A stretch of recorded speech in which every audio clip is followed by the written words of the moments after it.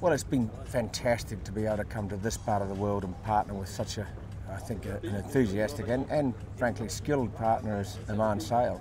Um, when you look at what they've done with their uh, youth program here, taking 20,000 kids through that program, reconnecting them with their maritime heritage, I think is fantastic. And then well, what they're doing with their youth program is, is, is amazing and taking 20,000 kids through that program, reconnecting them with their maritime heritage, um, allowing them to rediscover that in many ways and, and, and uh, many of those kids have never even had the opportunity to, to get on the sea.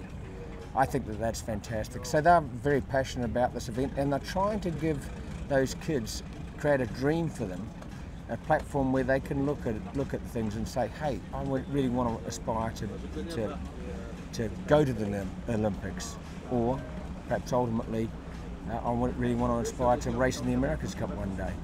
And you know, you could see it on the kids' faces um, the other day when they were here.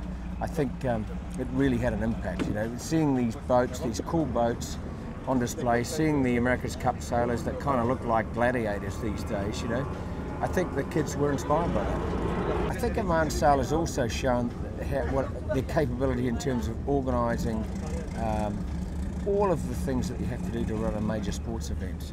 And uh, yeah, this isn't the only one they run either. Of course, they, they, are now targeting many, many major sports events, and, and we've been very, very impressed with their organisation, with their ability to um, right from, from their ability to, to collect a, a, a skilled group of volunteers through to um, obviously provide support for um, all of the various functions that you have to do to, to put on an event of this scale. They've been very, very supportive and very skilled in, in terms of uh, helping us through that process. So we're very, very happy. They're enthusiastic about the future. We're enthusiastic about the future in this part of the world, and, and um, I can see um, sailing and certainly the America's Cup, uh, you know, having a, having a very long and, and successful future here.